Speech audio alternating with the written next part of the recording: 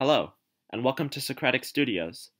On this podcast, you can enjoy deep discussions and interviews about everything science with the best minds in the field. I'm Sunjum Sanghari, and this episode's topic will be the recent use of genome sequencing to map the ancient indigenous populations of Uruguay who were driven to extinction by the conquistadors of the 1500s. This research demonstrates a fascinating interdisciplinary relationship between genetics and anthropology to further the goals of each field. With me today, I have Dr. John Lindo, an assistant professor of anthropology at Emory University. Dr. Lindo is an expert in the use of ancient DNA research to study populations and cultures across history. Welcome, Dr. Lindo. Thank you so much for being here. It's an honor to have you on the podcast. Oh, thank you. Thank you for having me. So, before we begin, I think it's important for the audience to get to know the basics of your research. So, how has genetics played a role in the world of anthropology, and how have the two fields collaborated historically leading until today? Uh, so that's that's a really good question because um, genetics has sort of been around with anthropology for a long time in a different form. So um, I would say before 2010, before the era of genomics, where we're able to sequence whole genomes even on the ancient level in a day, um, before that, I think maybe for like a good 30 years, mitochondrial DNA was being used in anthropology. And it was being used, and, and, to, and to a lesser extent, the Y chromosome to detect uh, human migrations through time.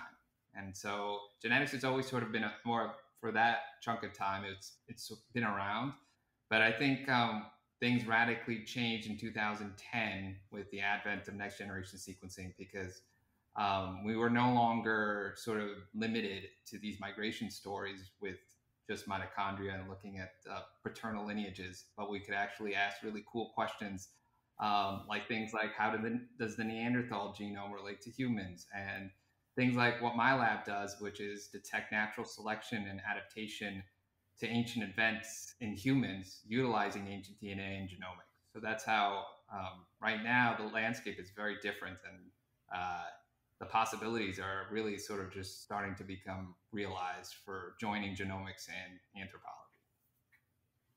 I see. So, getting into more detail about your lab, what kind of uses have you found for genetics and anthropology before the project that you've undertaken for this study? Um, so I, I started with um, trying to understand Native Americans in terms, or, or, rather the indigenous people from the Americas in terms of the diseases that they may have adapted to before European contact, uh, mainly because I was um, not really satisfied with some of the narratives out there that um, indigenous people were uh, had low genetic diversity or that they were uh, particularly vulnerable to diseases when Europeans came and brought those diseases. I really wanted to set out to actually sort of disclaim a lot of that by actually saying that there were certain, of course, there were diseases when the first migrants, say 30,000 or 25,000 years ago, entered into the Americas and they adapted. And some of my first work shows that um, indigenous people from uh, British Columbia adapted to disease before the arrival of Europeans because they had to. They, of course, one, of the new things that they were going to encounter were new ecologies, and within those ecologies are going to be pathogens that people needed to adapt to in order to survive and to successfully establish. So that's how I started my career. Um, but I think also my focus has shifted more into uh, detecting sort of adaptation to uh, sort of severe uh, environments like high altitude. I'm extremely interested in those types of questions, especially um, how people first adapted to the Andes thousands of years ago to actually be so successful and then lead to those incredible empires that we saw right about um, for thousands of years. Interesting. And your work specifically with this study is dealing with indigenous populations in Uruguay, correct? Mm-hmm. Right. So, could you give a brief explanation of their history with the information that you had before discovering what you now know from this research? Right. So that this is one of uh, really one of the probably one of the more tragic stories. I think European contact and the arrival of Europeans in the 500 years ago had devastating consequences uh, through pathogens, through slavery, warfare, cultural alterations. I mean, there's an array of, of reasons why they caused the decline of indigenous people throughout the Americas. But in certain countries or the, states that we see today, Uruguay is sort of an exception because it doesn't have quote unquote um, indigenous people. Um, although that that needs to be qualified because I think you're we'll get into that later in terms of what that actually means. But um, the Spanish, when they arrived, just like with any other area, they were in conflict with indigenous people. But in that particular area, after the state of Uruguay was formed, um, or and before it, the Spanish were really um, having all of these military campaigns to actually eradicate the indigenous people in from what is today Uruguay, um, and they successfully did that. And in fact, there's some horrible stories in the 1800s of the last indigenous families that were uh, spared because they were taken to places like France to be living um, museum exhibits. And that's some of the last um, really sort of documentation of the indigenous people as they were before the arrival of Europeans. So it's sort of a, a really tragic story in terms of really sort of an extermination of, of just not one indigenous group, but um, many indigenous groups that were in what is today Uruguay. Wow. So, what were some of the main groups of indigenous populations that you studied in Uruguay? So that's a that's a good question because uh, so we only did one particular archaeological site um, in Uruguay, and that's where the the individuals, the ancient individuals before contact, come from. Uh, but it's unclear as to whether or not they could be attributed to any of the historical um, tribes that were described by the Spanish and then later on. Um, so this is only one indigenous group that we're actually get um, we got genomes from, but um, it's it's sort of just connected to that prehistoric uh, indigenous site, and not in particular relation to say any of the groups that that are uh, that were exterminated or or had an actual name given to them by by the Spanish. I see. That makes sense. And so, yeah, that makes sense. So your paper highlights the Charrua population. So is that the main indigenous population that was studied in the lab, or?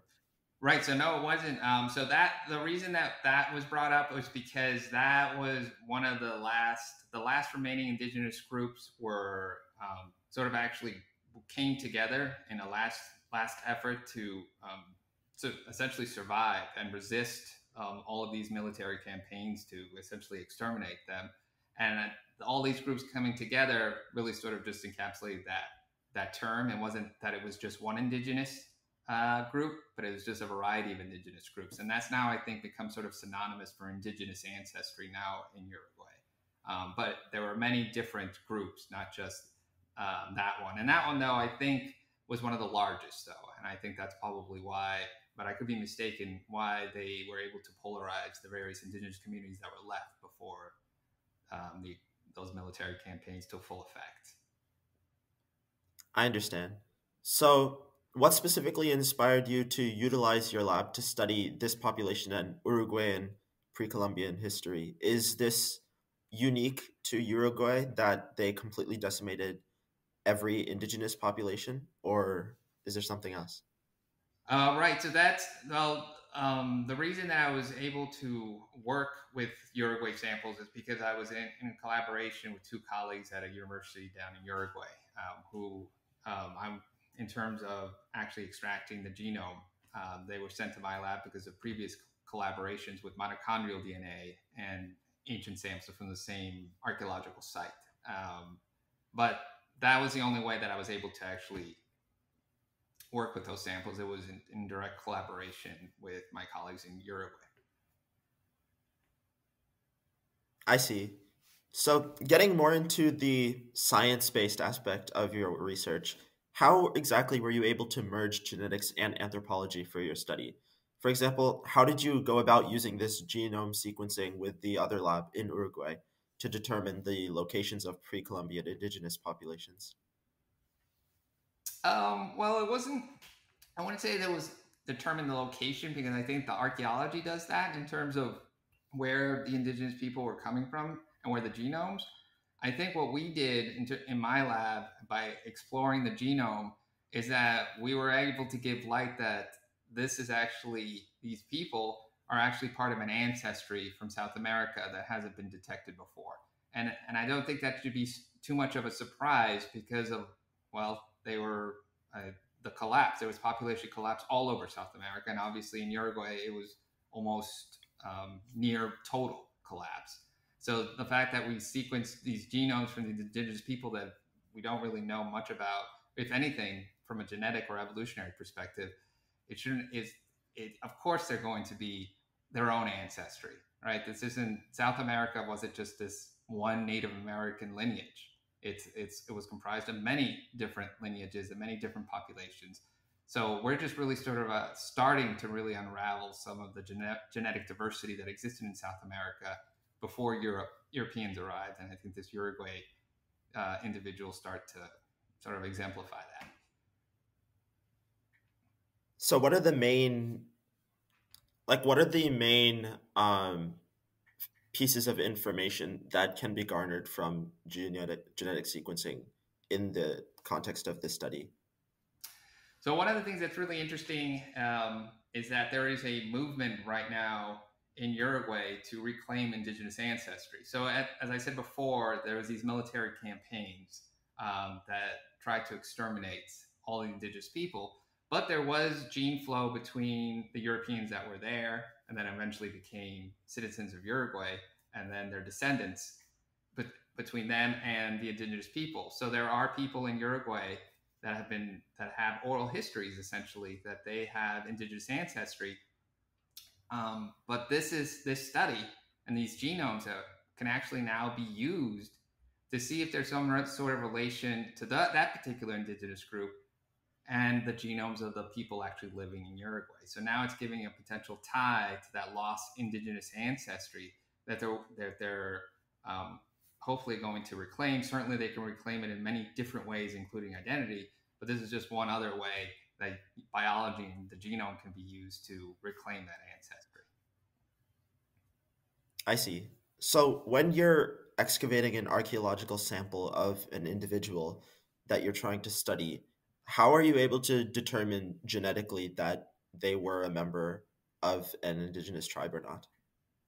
Right. So yeah. So that's a complicated question, and I think um, since this is only one particular site, um, right now it's it's sort of going to be. Uh, you can look at long stretches of DNA between, say, the modern individuals, and look at the long stretches in the ancient individuals, and you can see if there's some sort of similarity or matches between the two. And in that way, you can actually detect whether or not there's some affinity between the two populations. Now, I will say that it's it's going to be a really limited data set because there's only one particular site that we have genomes for. So it's going to be difficult as to whether or not we'll be able to match them. I think it's more, uh, I think also a future endeavor to sequence more sites pre-contact and then have an array sort of a, of indigenous, ancient indigenous people that you can draw from in order to see these matches with the modern Uruguayan people, if that makes sense. Definitely. So, are there other labs that you're collaborating with to try and achieve that goal, or is that something that you're trying to do uh, in the future after this study is now published? Yeah, so I do collaborate with other um, universities or researchers at universities throughout South America and Mesoamerica. And the one of the overarching goals of my lab is to really start creating sort of a, a really comprehensive like genomic studies that cover many countries and many different regions. And then hopefully, so one of the outcomes of that is, of course, you're the, besides the science, I think there's sort of an anthropological and sort of a human thing where uh, people even in the United States who identify as Latinx could potentially use this data to explore their in, their own indigenous ancestry um, in terms of what ancient civilization they might actually that indigenous ancestry might stem from. So that's one of the bigger goals, and that's obviously going to be you know five or ten years out before we can do something like that because um, these projects takes take a long time, and it's hard to actually get um, a sample that even has viable DNA. So it's sort of like a, a crapshoot as to whether or not you can even sequence them to do a meaningful study. Absolutely. So, your paper also mentions the use of haplogroups, mitochondrial DNA, and more to study sequence samples. So, were there any significance to the specific genes and alleles you chose to record and look for? Oh, so in, in terms of, um, I think it was more that we're not, uh, we didn't do like a selection scan or anything like that, mainly because there were only two samples that we were able to get genomes from. So in this particular case, um, it was more just the the haplotypes of, of, the entirety of the genome that were used in general, sort of sort of averaged out. Um, that showed that ancestry in general that was different than anything that's been seen in South America before, ancient or living. And then the mitochondrial haplogroup, which is inherited from your mother, so it's giving you some information about the uh, maternal lineage. That also was shown to be rare and not previously discovered. So again, so more proof um, that this indigenous ancestry is unique to Uruguay or unique to the region, but also given this um, idea that really South America was a genetically diverse um, you know, set of very different populations that existed before European contact. I see. And so you mentioned that there's one site that you used for archaeological research over the course of this study. So, mm. how did you choose this area, and how did you know that it would be important for excavation? Oh, so that's how I. So the my colleagues in Uruguay are the are the archaeologists. So they they are the ones. This is their site, and they were the ones who did the the uh, excavating. So that's that's how I usually collaborate. Are researchers who are archaeologists who then have some you know meaningful context about um, these individuals, and I get to uh, work with them, but from a genetic perspective. So I, I can't claim that I did the archaeology. I see. So was this site um was it like a town where they um lived or how what was the site when it was in use?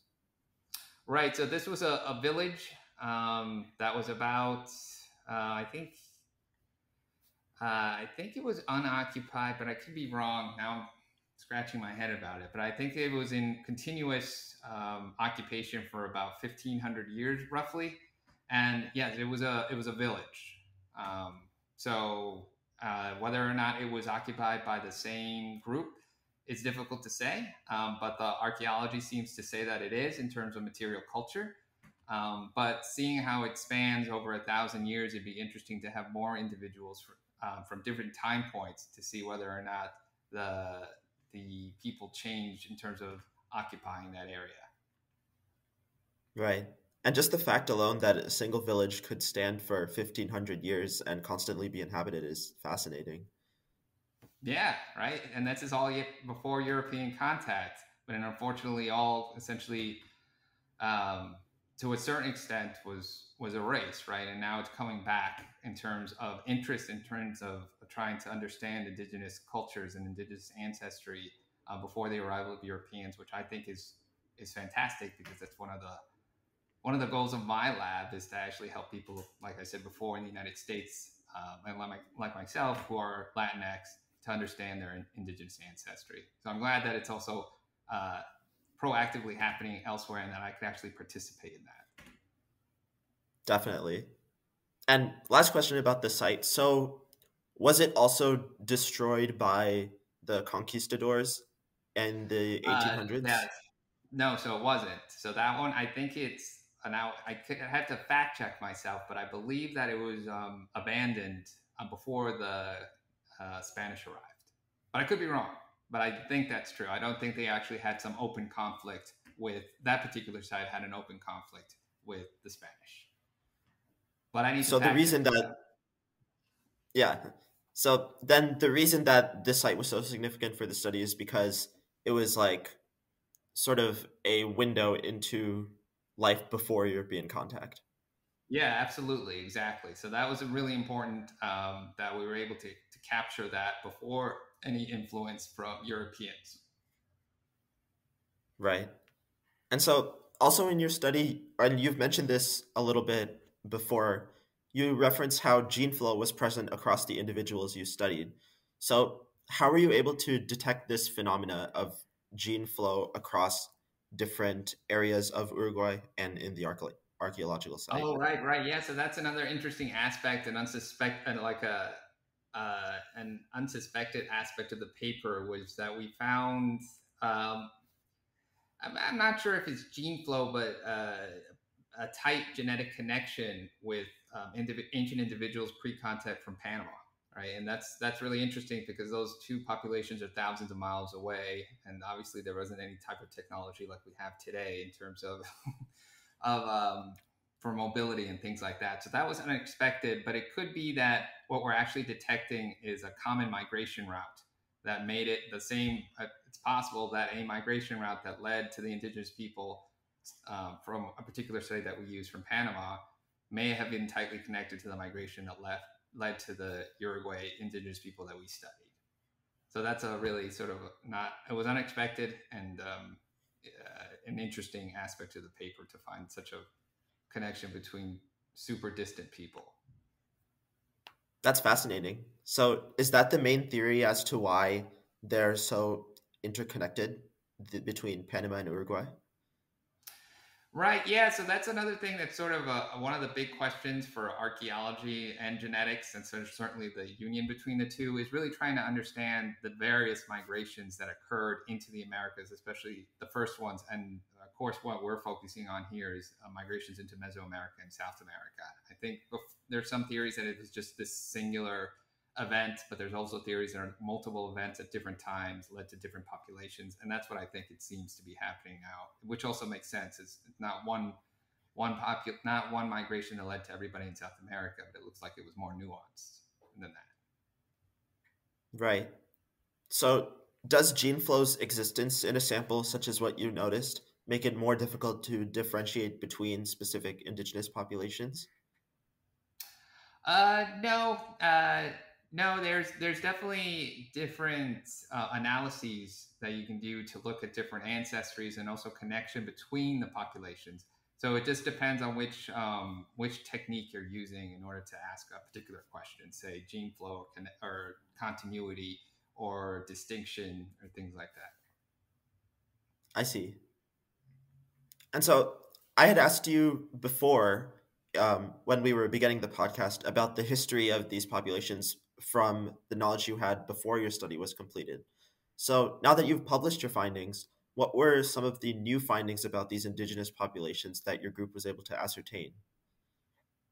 Yeah, I think the I think the big one is definitely um, the migration story and the connection between two distantly geographically distant populations. I think that was a, that was a, a nice piece, but it also I think this is just a start. I think this particular paper should really open up um, of course, South America, but Uruguay in general, especially since there's a movement to reclaim indigenous ancestry.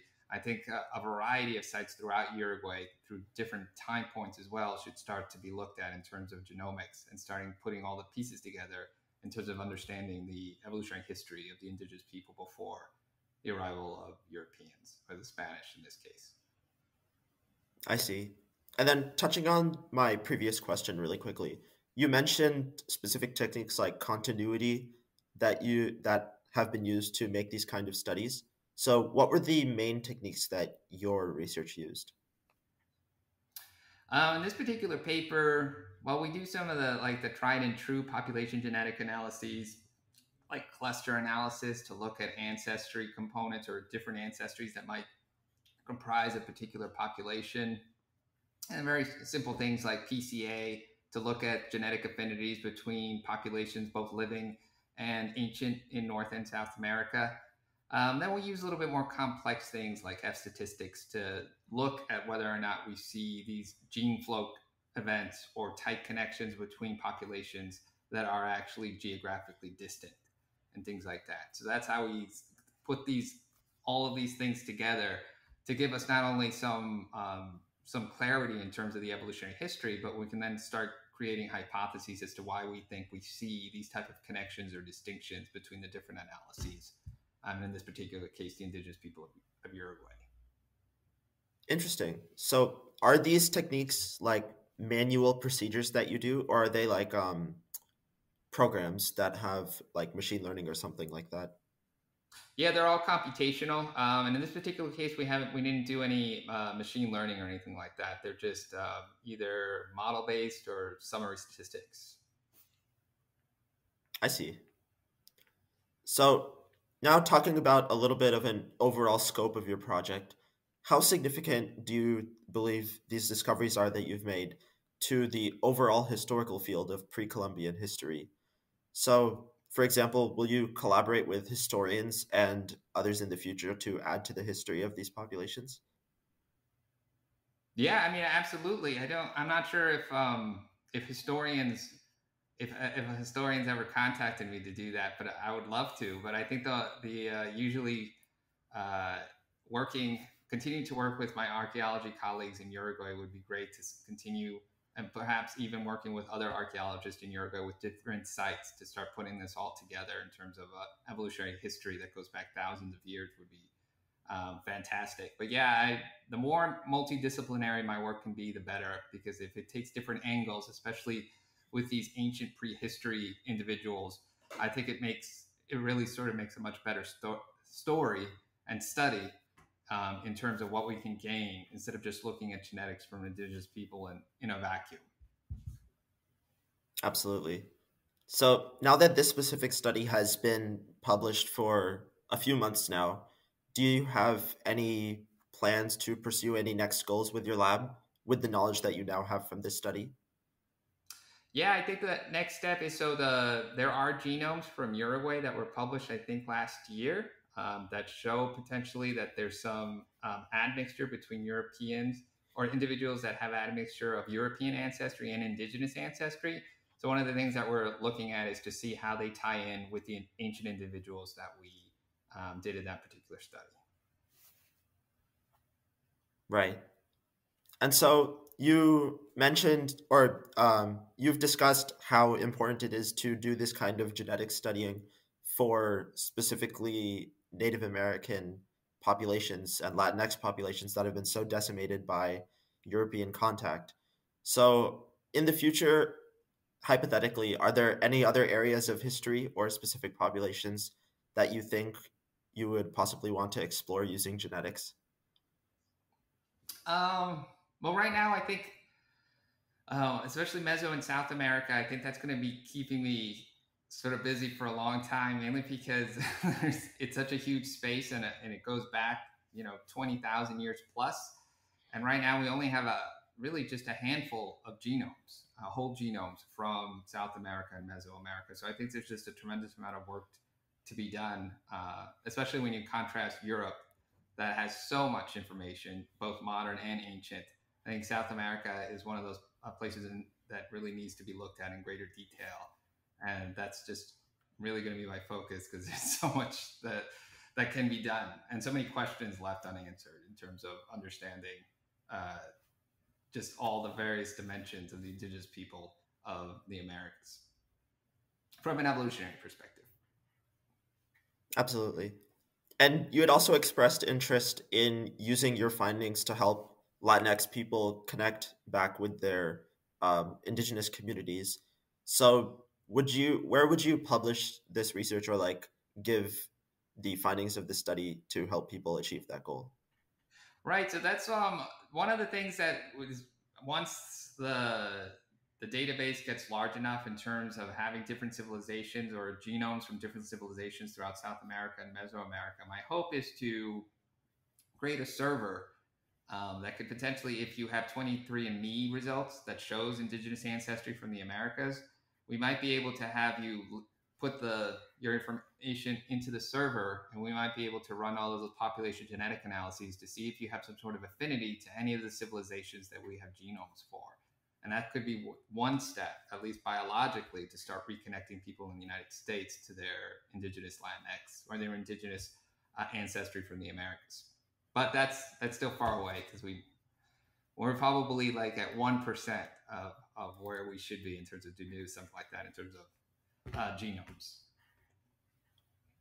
What is this database that you're using? Is this um, publicly available or how does that work?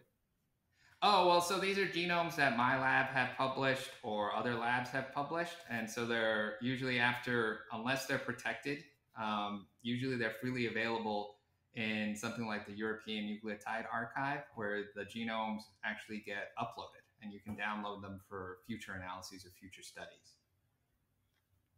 I see. And then additionally, um, since you mentioned using 23andMe, so would you would companies like that be using this database that you and your lab created, the 1% that you have already? And also, how long do you estimate it would take to completely finish the database for Mesoamerica and South America? Um, yeah, I mean, I uh, they potential 23andMe could certainly do that because they could get um, genomes, but I'm not sure how that would work because given that they use like large reference um, panels to, for each mm-hmm. population. Mm-hmm. So like right now, if like say for one site, we'll only have one genome, so it's not a very good reference uh, population.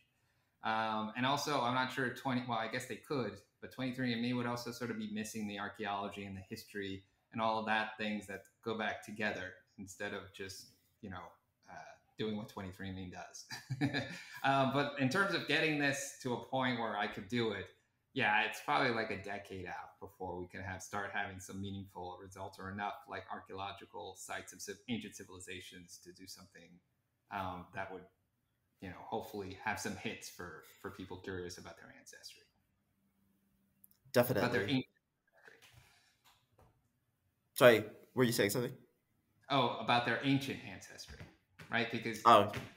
right because you can do 23andMe now, and they'll give you some like uh, information, but especially not with the Americas. Uh, it's it's sparse what they have, mainly because there aren't reference genomes per se, especially from North America, because those are all protective.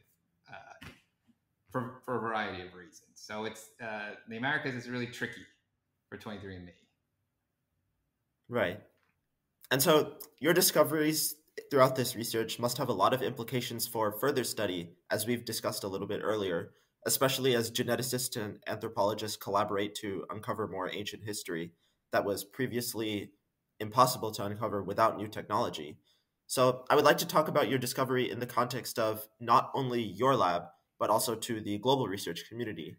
As you mentioned, you were working with Uruguayan labs as well. So, as a conclusion to the interview, how would you recommend that other scientists and researchers around the world build on your research to use genetic sequencing in anthropological efforts across history? Oh, I think there's um well there's other labs that there's only well there's a handful of labs uh, mainly in Europe and also there's a couple or a handful in the United States as well that that have been doing doing that. Um, but I think now it's gotten really tricky because um, there's uh, ethics that need to be put in, and some labs have don't necessarily follow the right ethics uh, in terms of making sure that they understand um, whose ancestry they're actually reporting to and who are the stakeholders that should be aware of this type of research. So that's made things very complicated, and I think complicated in a good way that this discourse is starting in terms of how to actually do ancient DNA when it relates to humans and these ancient ancestries um, to try to identify who you know who are the the people who should be most involved in this type of research because they're directly related to it. Um, so I think that's that's the discourse now um, because it's it's been happening for the past decade, but now I think we're heading towards a more responsible way to do this type of work, which is great. Absolutely. Well, Dr. Lindo, thank you so much for appearing on this podcast. It's really been so fun and interesting talking to you about your research. And good luck with completing the rest of the database and your future work with genetics and anthropology. Yeah, thank you so much. I really appreciate the invitation and it was wonderful to to be interviewed by you. This was fantastic. I really appreciate it.